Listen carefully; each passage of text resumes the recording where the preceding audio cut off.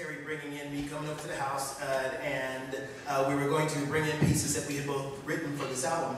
And he came in with this piece of music, and he um, he sat down, and I said, "What is this?" And he said, "Oh, that was last night," and, and that's the title.